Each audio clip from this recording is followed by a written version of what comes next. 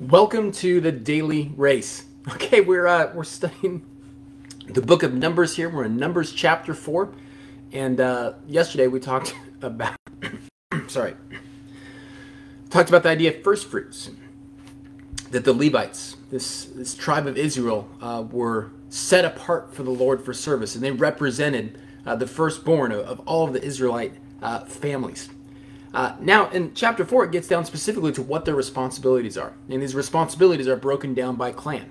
Uh, some clans are responsible for the sacred objects. Some clans are responsible for general uh, uh maintenance, general uh, work around the tabernacle. Some clans were responsible just for, for setup and teardown, uh, carrying the load. And as we read through all this, it's, it's kind of, you read through, all right, there's details here. This is what they're doing. This is responsibilities. But again, read through, you begin to see some uh, a, phrase that's said over and over again is they're counting uh, the men in each clan that are going to be available for service. And, and, it says this that the men aged 30 to 50. It says this over and over again. Men aged 30 to 50 who are uh, available, who are um, qualified to be able to serve in the temple. In fact, it, it sums up that this whole chapter here. It says, So Moses, Aaron, and the leaders of Israel listed all the Levites by their clans and family all the men between 30 and 50 years of age who were eligible for service in the tabernacle and for its transportation numbered 8,580. All right, so there's an age requirement actually to serve in the temple.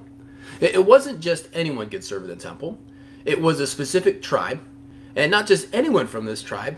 Uh, people from these clans had specific roles that they could and, and couldn't do, and even the men from these tribes only from the age 30 to 50. You had to be 30 years old before you could begin to, to be a priest, uh, to do work in the temple. Now we could just kind of read through this and kind of glance through it and, okay, yeah, that's good, good facts, good information. Uh, 30 years old is, is a requirement to go into this. But as I was reading that here today, it just took me all the way to the New Testament, to Luke chapter 3. Jesus has just been baptized. And Luke uh, begins with Jesus' birth account. It introduces us to, uh, obviously, to, to, Mary and to Joseph, and Jesus is born, and we hear about John the Baptist being born. And then John the Baptist begins his ministry, and Jesus goes out and is baptized uh, by John the Baptist. Uh, the, the beginning of his public ministry. So he's gone into the wilderness for, or he's about to, to do that to, to begin it. Uh, but it says this uh, Luke says this Jesus was about 30 years old when he began his public ministry. 30 years old. Is that a coincidence? No, it's not a coincidence. Now, see, uh, by the time Jesus uh, came here on this earth, not only was the, the temple still operating, uh, it was still uh, moving forward all of the, the, daily operations. There's still the Levites that, that had to be 30 years old to, to operate in there. But there's also a, uh, a culture, uh, a system of religious leaders, rabbis um, that were responsible for, for teaching in the temple, for teaching the people uh, the faith of, of, the Jewish faith. Uh, they would have disciples that they would, would, train up and that they would mentor over years. And uh, the best of the best of these young men would become rabbis themselves. And they would enter their public ministry at, guess what? 30 years old. 30 years old is when priests began being priests. 30 years old is when rabbis began being rabbis. And 30 years old is when Jesus entered into his public ministry. You see, Jesus was, was revolutionary in, in what he was telling everyone. He was breaking down the, the mindset of the, the old covenant with God and what the kingdom of God was, was really like. But he also did it within the context of his culture. He wasn't a 18 year old kid out there trying to, to turn over tables and all that stuff. He would have been flatly rejected from you. You're not you're not old enough. you, you, haven't gone through the, the, the right process. Jesus waited until the time was right. 30 years old and entered into his his public ministry. There's a time and there's a season for for everything. Now, this isn't supposed to be some strict, you know, mandate that you can only be 30 years old to certain no, that, that's not what it's about. It's about how God works within the systems that he creates.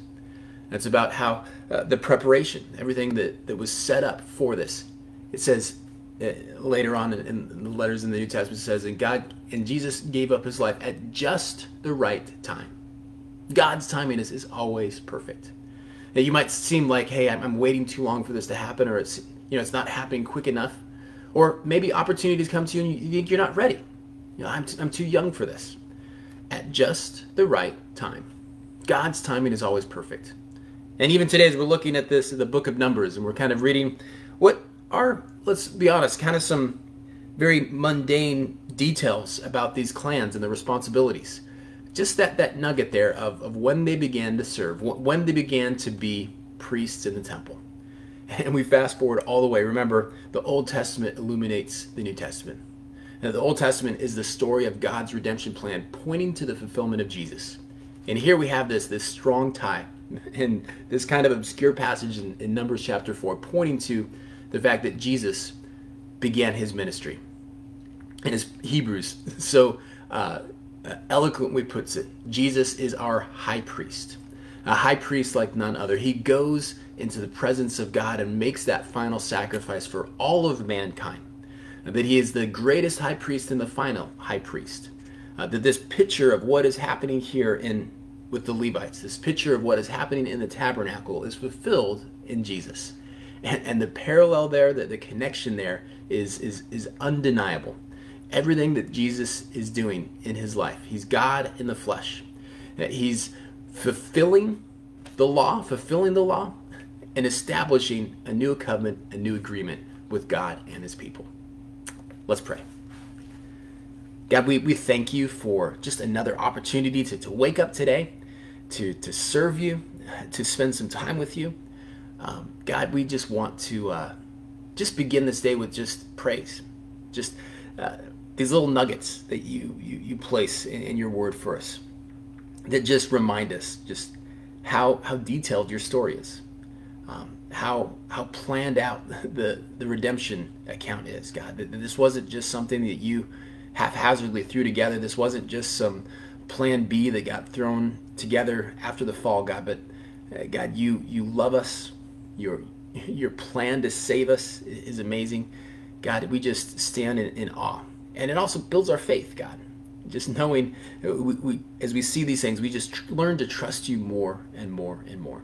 So, God, help that that trust that, that begins in our brain and our mind as we, we learn facts, God help us to make the, the 18 inches down to our heart. God, help us to actually believe more. Help us to actually put into help us to put into actions uh, this trust that's building within us.